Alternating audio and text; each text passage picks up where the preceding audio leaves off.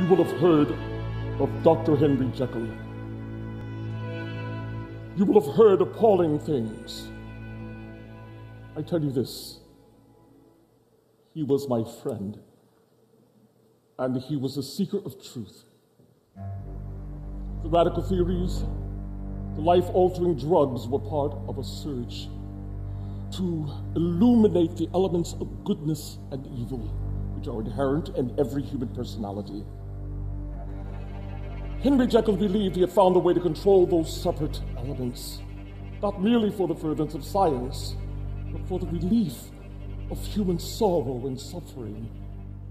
He entered my life as a brilliant young scientist and became as dear to me as my own child. I came to feel the exhilaration of his knowledge and the profundity of his suffering as though they were mine.